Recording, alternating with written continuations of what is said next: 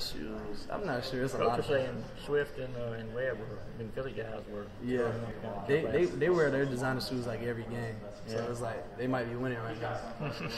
I came in on tail end of this, but uh, you know, what's the, do you set this stuff out the night before what you're going to wear for like a dog walk or anything, or? Yeah, I mean you kind of do. You sometimes you even have two suit, two suits because you will use one suit to walk over to the Georgia Center Hotel, then the next suit is what you will wear for the dog walk when you leave out, so you catch everybody else off guard, like the team and everybody else. It's like, dang, you had it on yesterday. What would you, uh, a tough situation you had in South Carolina games, you know, they're riding a bike rather than playing in the game and Georgia loses. How did you leave that game feeling? I mean, was it, was it the type of thing where you think maybe you could have gone, or was it definitely a, yeah, you had no choice but to sit out and that maybe you could have made a difference? I'm just wondering. Then uh, I, I kind of, uh, I like to think of myself as a tough guy. You know, I don't really like to say I'm hurt, even if I got like a little injury or something. I'm gonna play through it. I'll never tell you I'm hurt unless you can see it. Um, really, me warming up on that bike, I was trying to see how I could go if I can get it loose enough to go, because that's how bad I wanted to play in the game. I don't, I've never missed a football game, so I didn't want to miss that one either. And so that that really hurt me. And um, I was just, I was trying to see if I could go, and there was just no chance I had of playing in that game. My back was really hurt. Going back to the offense, um, you know, with all the concern, and you know, we're, we're dealing with the fans all the time, and, and there's just there's there's just a lot of concern over what you guys are doing, and even though you had the rain last week, I think that kind of fed into it. No points in the first half.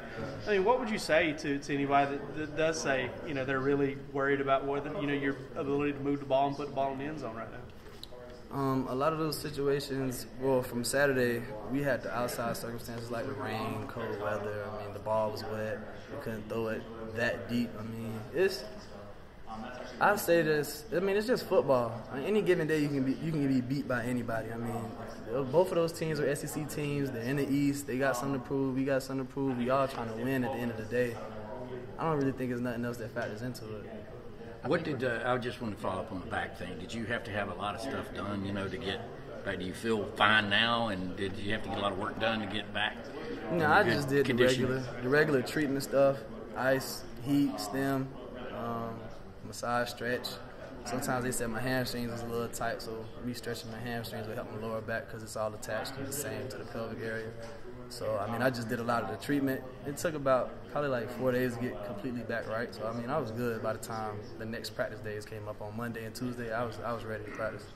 I think what people think of extending the offense and stretching the opposing defense out, they think of throwing the ball downfield, stuff like that. But those outside zone plays you mentioned before, uh, what role do those play in kind of ex- extending the defense and opening up those runs up the middle too? I mean, it kind of keeps the defense honest. So if we're running outside zone, the, the linebackers got to come out the box a little bit. But and if our line is running that way, then of course we'll get the linebackers to flow. We're trying to get the inside zones to open up as well. But throwing the ball definitely opens up the runs. Period. All runs, outside zone and inside zone. How are those outside runs like when you're running, I guess, a little more parallel to the line? How are those different than what your mindset might be when you're on an inside zone? In the inside zone, most of the time I reads, I'm watching the linebackers as I get the ball, but this time I'm watching my offensive lineman as I get the ball on the outside zone to see where he puts the defensive end or the outside linebacker on that end.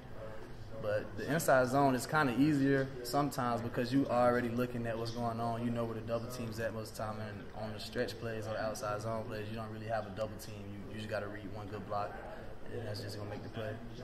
Where does this uh, Georgia Florida game fall for you? Obviously, you've had a lot of experience in it so far, and it's obviously very meaningful this year. Um, every game falls in the same category to me. I treat every game the same. No matter it's the first game, scrimmage game, practice, scrimmage practice.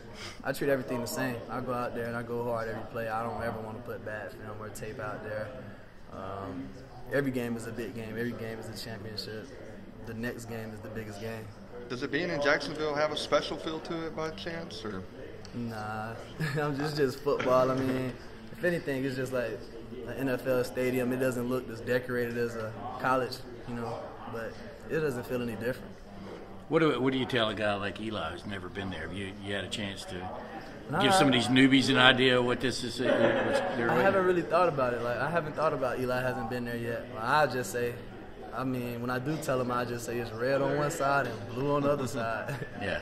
I mean, it's loud in there though. When they got, they got, it's always a good game. I would say. Getting back to this close thing that has me fascinated. Uh, do uh, do y'all have competitions between the running backs on who looks the best, or did anybody show up one time and you were like, "Man, you look you look good today"? Yeah, it's kind of like every other game. Most sometimes basically it's every game. We'll walk like, oh, we got money. You got some, some good shoes right there. Or like some people have on like a trench coat, like Oh, suit. Like it's, it's cool. I mean, we always try to come looking good. We don't want to look bad, but it ain't. It's never like I'm gonna look the best today. It's just like I want to dress up nice. I want to look presentable.